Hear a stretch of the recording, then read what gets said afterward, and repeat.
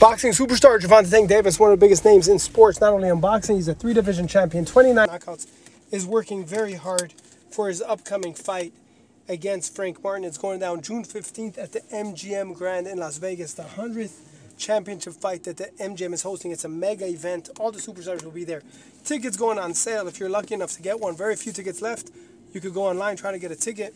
Or if you need hookups for the tickets, I'm going to share that as well as we get closer to the fight. We're two and a half weeks away, less than three weeks away. But if you see Tank running on a treadmill with boxing gloves on with Coach Calvin Ford, the same coach from day one, from 8-7 till now, you have to respect Tank for keeping the same team that's very respectful. The loyalty is on another level with Tank. Look, even having Adrien Broner in camp shows the loyalty that Tank has.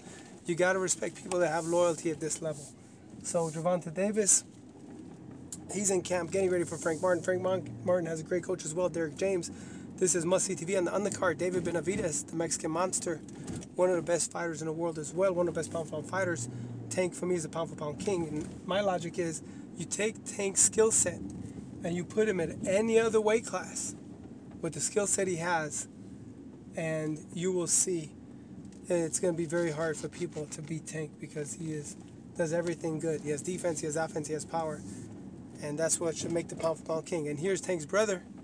Michi with their uh, pet uh, monkey. They've had the monkey for the last few years, and you can see there's a this Michi's very good with animals. So stay tuned. We'll keep you guys posted. But there you have it. Gervonta Davis in camp, getting ready for Frank Martin, and full coverage right here on ES News. So that was taking a treadmill. Here's his brother with the pet monkey, and there you have it. Stay tuned. ESNewsReporting.com and Melly Seckbach reporting. And you can follow me on Twitter at Seckbach. You can follow me on Instagram at Elie Seckbach.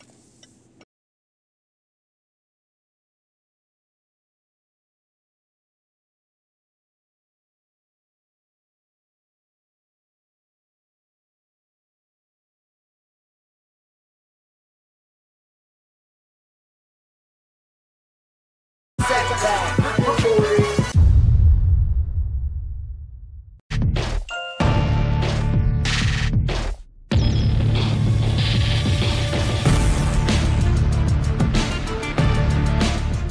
Seckbach, Elie Seckbach reporting for ESNewsReporting.com. I'm Elie Seckbach reporting. ESNewsReporting.com. I'm Elie Seckbach reporting.